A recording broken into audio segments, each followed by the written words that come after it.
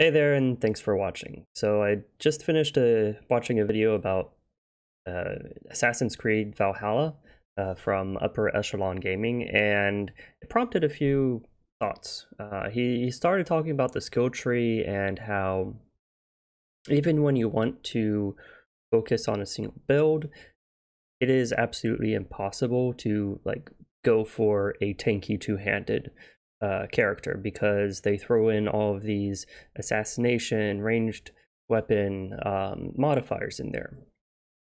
So even if you do do your very best to min max towards that one weapon type, that one playstyle, uh, defense type, it's not going to be that much of a difference between what your character has turned into and what someone else has turned into. Of course, he hasn't like completed the game. It's an open world thing, so it's going to be a stupid amount of time to even finish it. If he does ever finish it, but it made me think about how uh, Clicker Heroes 2 is currently set up and what is being done to basically help players progress even if there are mistakes. So currently in the experimental phase, there's the normal difficulty and the hard difficulty. And the only difference is your power scaling for the most part. Uh, there's also, I think, hero soul difference. Uh, it's been a while, so it's all a bit vague.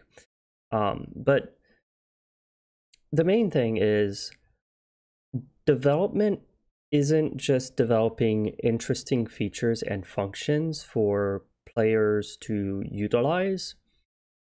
It's also ensuring a minimal fail state. Now, what do I mean by that? I mean that it is ensuring that regardless of how badly a person plays, progression is able to be made. And maybe I shouldn't be using the term play. Maybe I should be using the term uh, planning, strategizing, uh, min maxing as the term. And so when you're playing the game, um, there's several different types of players. There's the player that just wants to jump in, get stuff done, um, be in the moment, be in the action, and just continue. And look at the next point on the tree and be, oh, that sounds cool. I want damage, I want stealth right now um, without looking at what's going on 20 steps ahead. And then there's players who will spend two days looking at calculators to figure out is this idea that I have even worth playing? And I fall into the latter category. I'm kind of a altaholic on Path of Exile. And when I plan out a new build, I open Path of Building and look at items, look at path trees, and spend about two or three days uh, just playing with what a level 90 character would have at its disposition. And as a result, my characters do somewhat okay uh, without having to copy paste what someone else is doing. But not every player is like that. A lot of players just want to play the game and not worry about that stuff. And if they are playing a game where you have to worry about that stuff, they want to be able to copy someone else's um, build idea um, and just be able to focus on the gameplay and not worry about what do I need to make this optimal, which is perfectly fine. So, how does this relate to skill trees and development in Clicker Heroes 2? So, it had me thinking how can you actually be able to satisfy both players? And I'm wondering if difficulty scaling is actually the best way to go about things. Even myself, um, when I first opened up Clicker Heroes uh, 2, uh, I looked at the skill tree, and even though I loved the fact that there was so many options, so many ways to play, I was completely lost and just crashed and burned basically. Um, I didn't understand what was valuable and what was not valuable.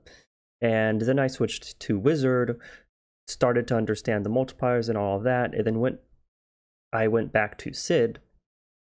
I had a better time because I understood how the game scales and how uh, mechanics interact with each other.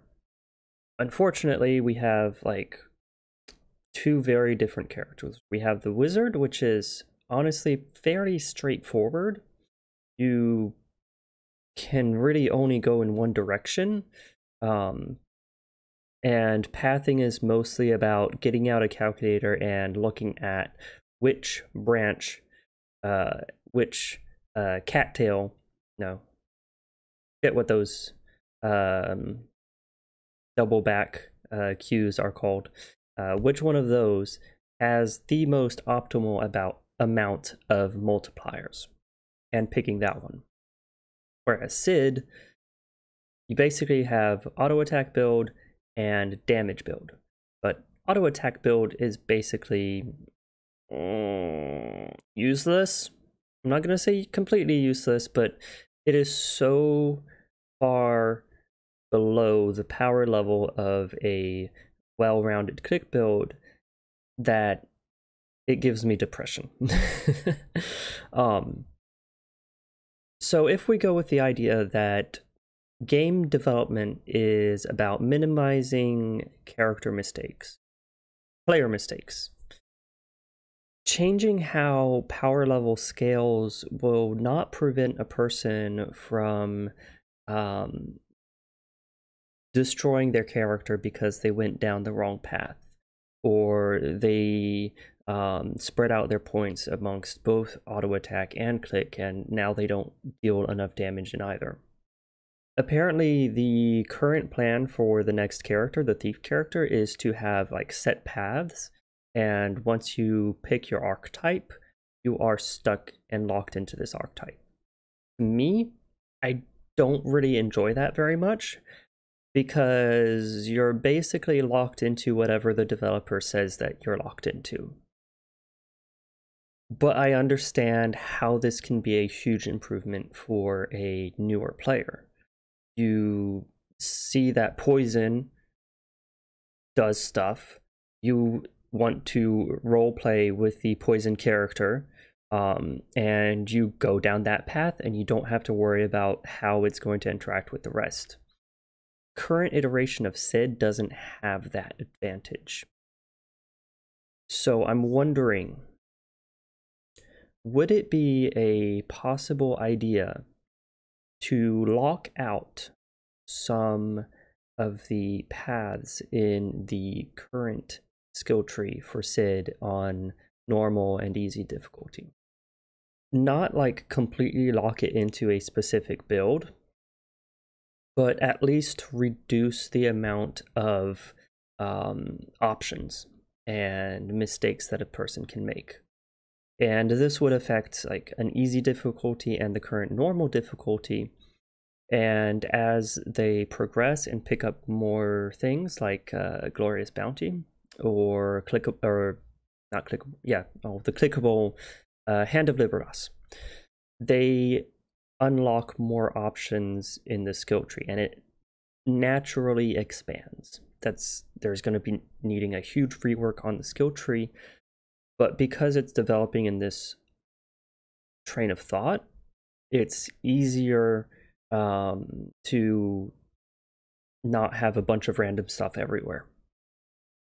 That's not going to be as satisfying for myself and considering hard mode is supposed to be the challenge, how a uh, challenge of not only your patience, uh, but mostly challenge of your understanding of the game itself and how far you can push it. This isn't going to be in hard mode. Hard mode, the entire thing is revealed from the start and you have to figure it out. Of course, uh, they have been working on stuff for the last two months. I'm not sure if this is already an idea that they have, but it's something that came to mind as I was made it this far. Thanks for watching, and I'll catch you next time.